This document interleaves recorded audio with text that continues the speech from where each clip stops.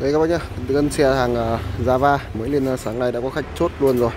Em đang à, ở bưu cục Viettel để gửi đi cho bác khách ở Hồ Chí Minh các bác nhé. Cảm ơn bác đã ủng hộ.